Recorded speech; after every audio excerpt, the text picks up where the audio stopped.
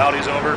You are trespassed off the Bank of America. If you go back inside the business, you will be subject to arrest. The second part is the solution for your claim. If you'd like to come here, I can explain. some things. I'll put down the camera so I can tell you what's going on. Okay.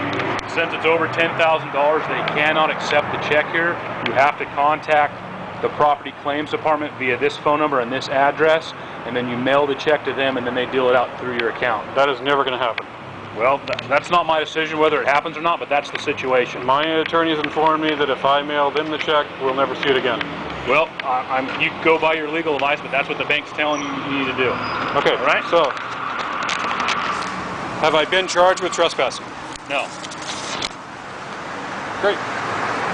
So, um, What he, what he issued you was called a verbal trespass warning, stating that the bank doesn't want you to come back into the business or they can have you arrested for trespassing. I know they don't want my cash. They will not take my cash payment.